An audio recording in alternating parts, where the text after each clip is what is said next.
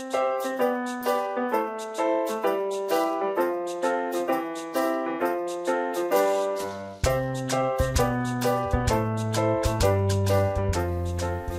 goods from a store to the HO and to other POS sites through transit via. Previously, the transit via site concept was only applicable for goods being sent from the HO to the POS stores. Transit via sites can now be tagged while returning the goods from a store to the HO, as well as by returning goods from one POS store to another. So, what is transit via? Well, it is nothing but transferring goods to a site via another site. The packet being returned is created for the destination site. Before it reaches the destination site, it is first received in the transit via site as a GRT in the transfer in against transfer out form. Once the GRTs are received, automatically delivery challans are created for the destination site. So now you can create the transfer out using the delivery challans for the destination site. To tag the transit via site, open the site details, select the replenishment source. Under replenishment source tab, select the site and then we select the site for the transit via. Remember to check the strictly follow transit route checkbox when you plan to return the goods through transit via. Well, now returning goods to sites has become more convenient. Return goods from the store according to a GRT price list tagged to it. Previously, when the goods were being returned from the store, goods were being returned according to the last received price in the HO. There was no provision to add a price list to the goods being returned. At times it may happen that the item being received at the replenishment site has multiple price based on site and goods aging.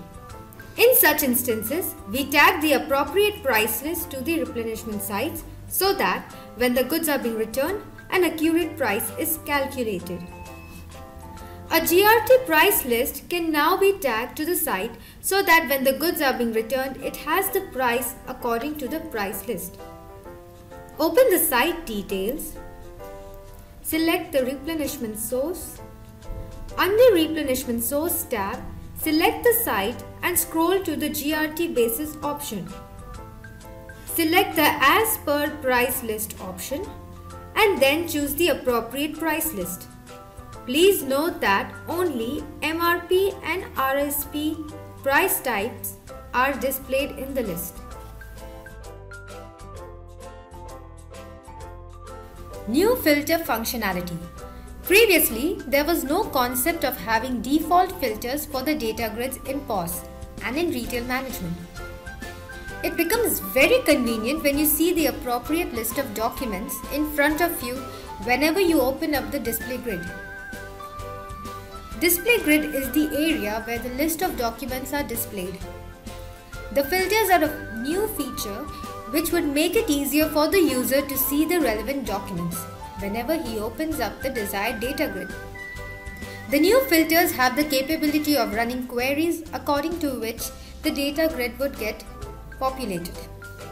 Now we can have default filters set so that when the document list appears, it always appears according to the filter.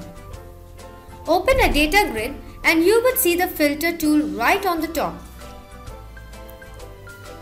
We add a filter by clicking the add button. Now we click the build criteria button to create a filter. Click the query helper. We select the columns and create the condition for the filter.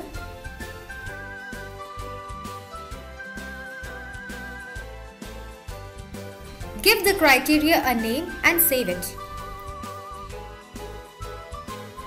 Now let's apply the filter.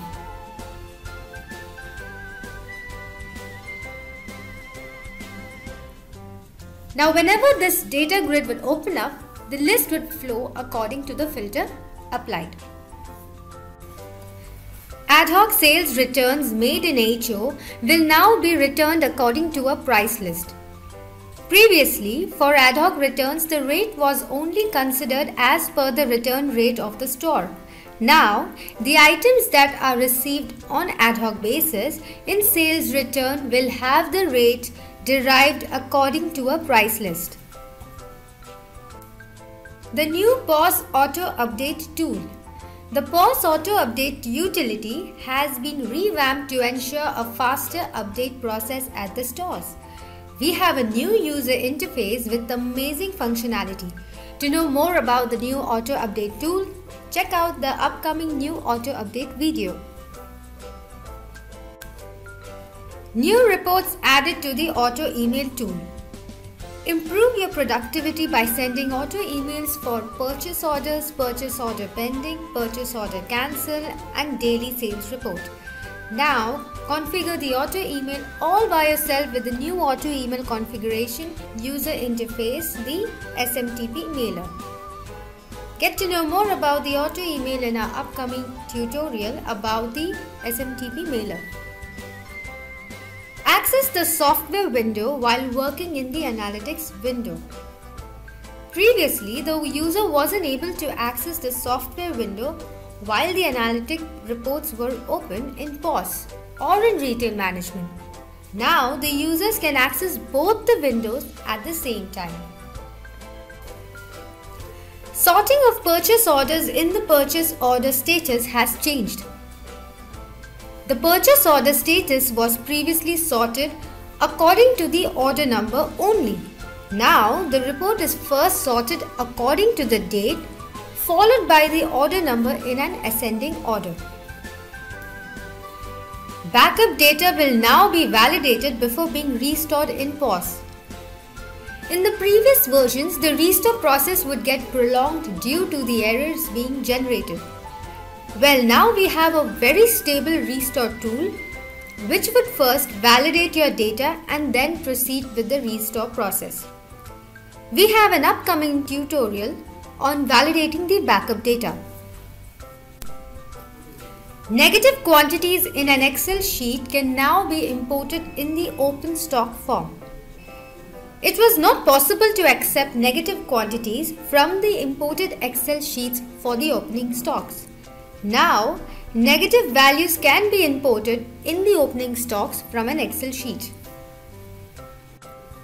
Start counting on the fly while adding a new count.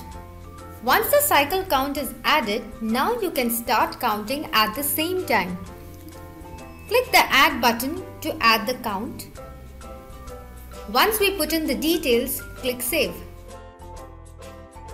A dialog box appears asking if you would like to start counting right away. General ledger and sub-ledger for charges are now enabled for modification in the service invoice. So now you can modify the general ledger and the sub-ledger with charges in the service invoice.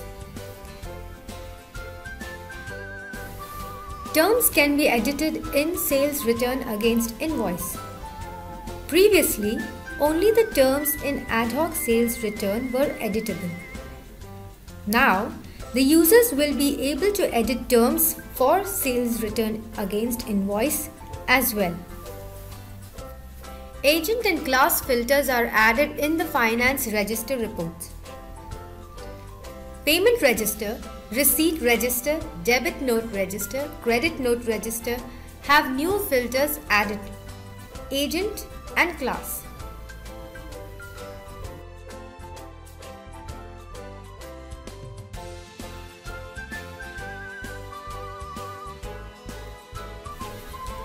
Document numbers list of values sorting has changed.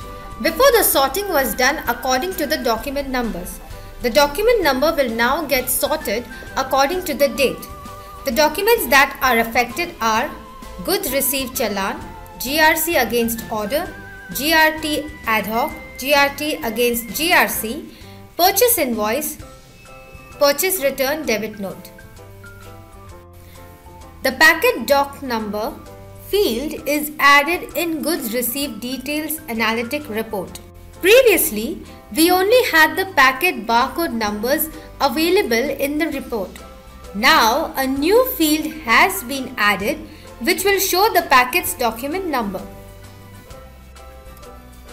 The purchase service orders invoice date would get auto-populated according to the valid from date. Previously, the service invoices for the sites were generated only after the valid to date. But now, service invoices can be generated from the valid date onwards. In the site schedule tab of the service detail, the invoice date will now flow from valid from date instead of valid to date. So that was all about the new features and enhancements. Along with the enhancements, there has been many bug fixes too. Update Ginesys to get the best out of Ginesys.